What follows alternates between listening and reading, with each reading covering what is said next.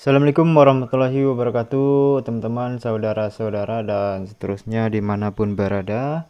Oke jumpa lagi dengan saya. Uh, di video ini saya uh, ingin mencoba ya hasil rakitan saya ini ya yang ini ya.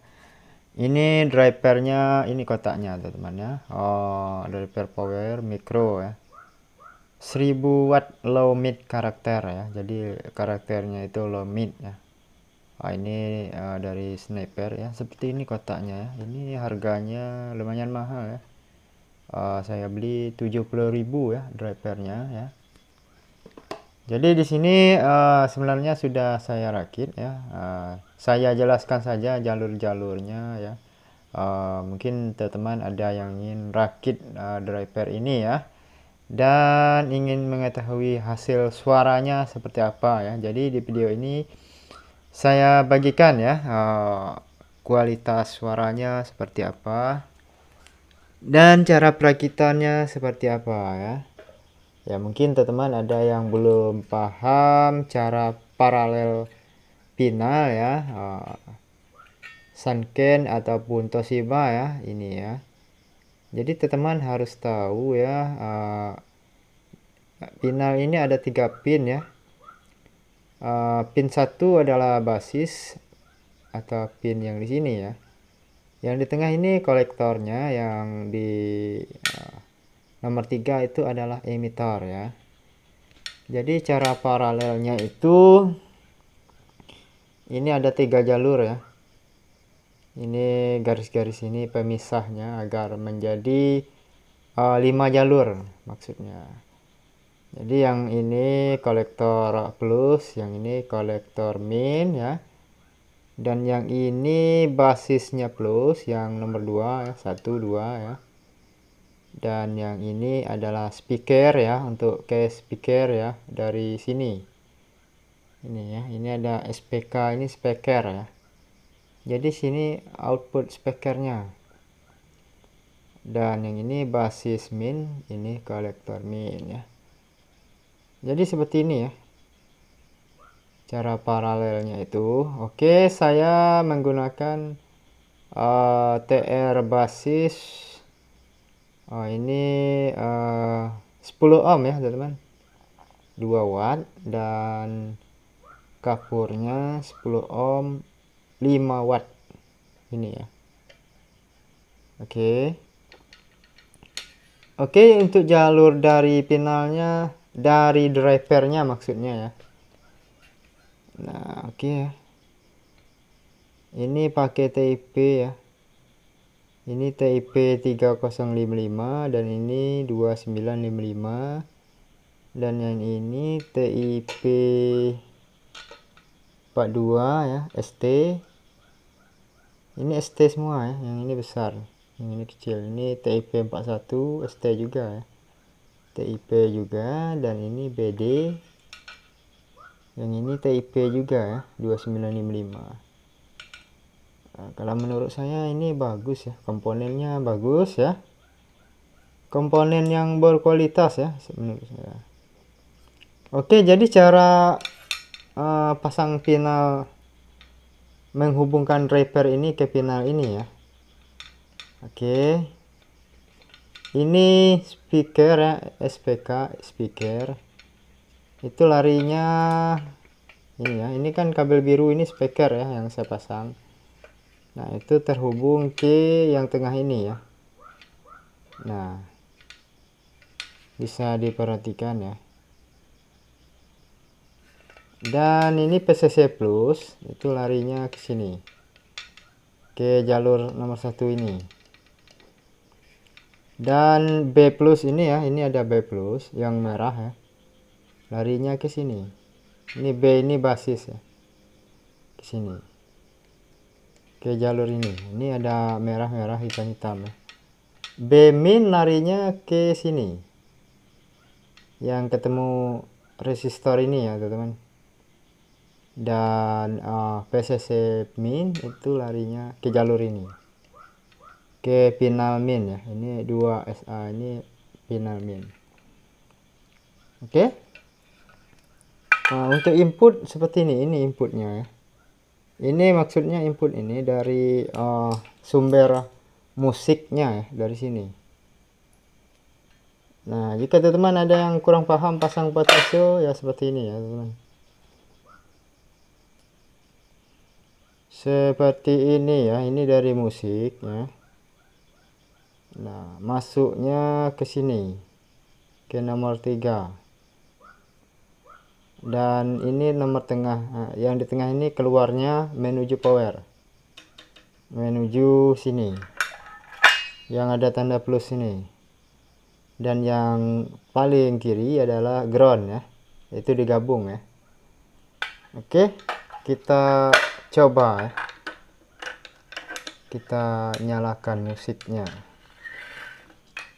nah di sini saya pakai trafo uh, 5 ampere ya. Uh, tegangan 30 volt ya. Dan elko 10.000 mikro 50 volt. Ini elko nya sudah saya cek ya. Uh, isinya full ya. Oke.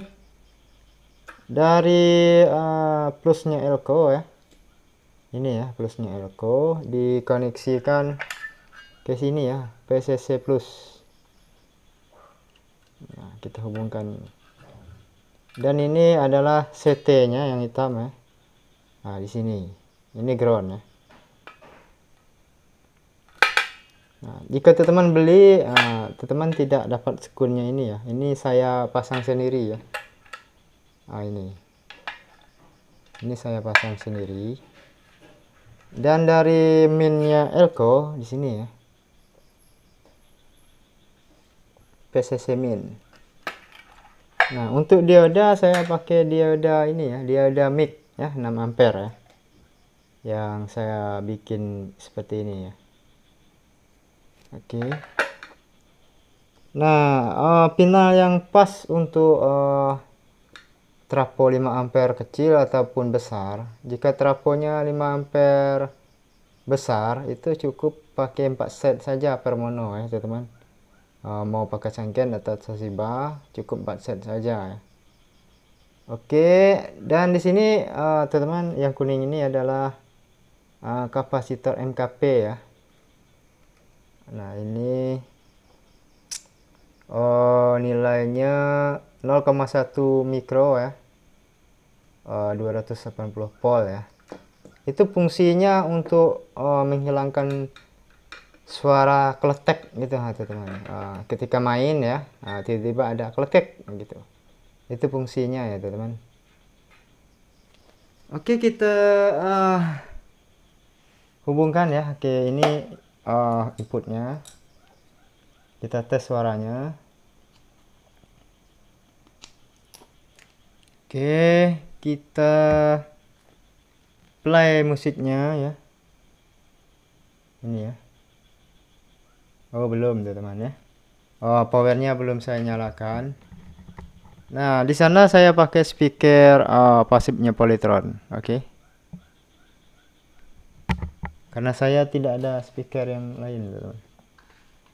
Kita colokkan ya. Uh, Jika teman-teman baru selesai rakit eh, uh, Ingin nyoba powernya uh, Sebaiknya dicolok sebentar dulu teman-teman seperti ini. Nah jika lampu LED ini langsung mati uh, berarti ada kekeliruan di perakitannya ya. Jika nyalanya lama setelah ini dicabut berarti rakitannya sudah benar ya. Oke? Kita play.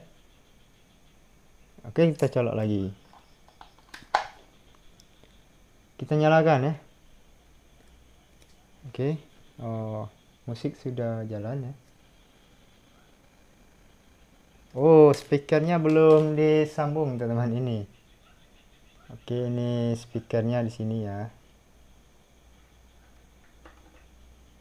Kita Oke, pantasan tidak bunyi teman-teman.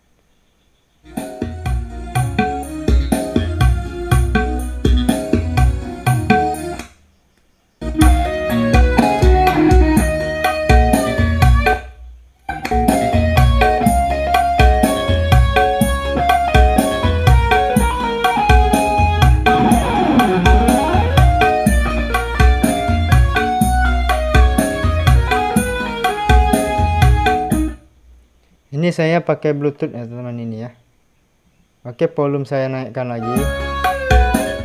Uh, saya akan coba volume dia naikkan dan saya akan pause di bluetoothnya. Apakah dengung atau tidak ya? Ini saya naikkan.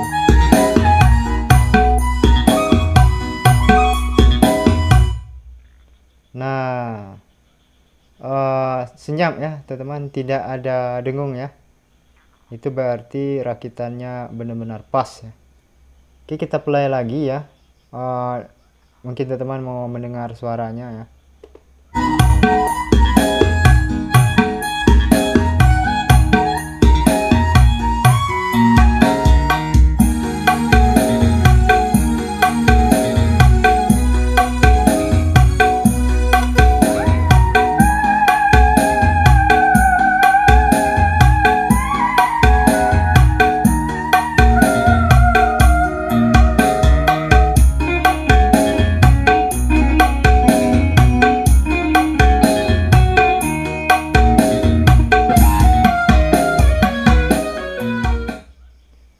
Oke teman-teman, uh, cek soundnya tidak bisa lama-lama karena uh, posisi di malam hari ya. Ini sudah jam 11 ya. Oke, sudah jam 11, jadi tidak enak sama tetangga ya. Oke, yang penting saya sudah uh, membagikan uh, sesuatu tentang perakitan power ini dan hasil suaranya ternyata benar-benar uh, low mid ya. Low-nya sangat jelas, mid-nya sangat jelas ya, lantang ya uh, middle-nya uh, Twitternya juga ada ya. Oke? Okay? seperti itulah hasil suaranya. Uh, sampai jumpa di video selanjutnya ya buat teman-teman yang belum subscribe jangan lupa subscribe ya. Oh yang sudah subscribe tidak usah subscribe lagi ya. Uh, terima kasih ya. Uh, silahkan uh, pantau terus video-videonya mungkin ada yang bermanfaat ya. Wassalamualaikum warahmatullahi wabarakatuh